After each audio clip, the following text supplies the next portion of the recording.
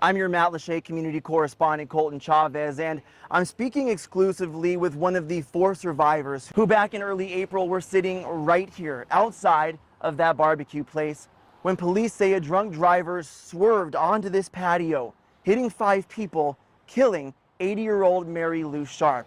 I'm speaking with a man that Matlacha knows as Butch, the person who loved Mary Lou and says was sitting next to her when tragedy struck. I looked up and seen a car. In the chaotic moments after a car came barreling into Butch Gay and four others sitting on this patio. And I ended up over there on the ground somewhere. In the mind of a 78 year old man who had just been hit by a car, Butch says, And all I was saying is, Where's Mary Lou? Along with injuring four others, troopers say Mary Lou Sharp was killed after being hit by 24 year old Cody James Curtis, who has been charged with DUI manslaughter. The only thing that I actually think about is the loss of Mary Lou. Butch says the loss consumed him, even while spending over a month in the hospital being treated for his own injuries. She was everything to me. I mean, we were together 50 years ago, and we split and went our separate ways, and then she lost her husband, and I lost Judy, and I looked her up and found her in Ocala, and I brought her back, and we spent 15 years together after that. Butch says in those low moments after the accident, he leaned on others to lift him up.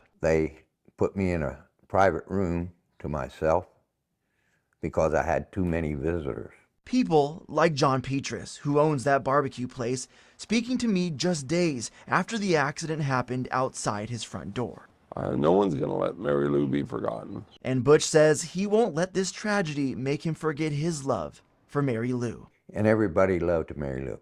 Everybody. And his love for the island he will continue to call home. That's where I raised my son, my kids, and that's home.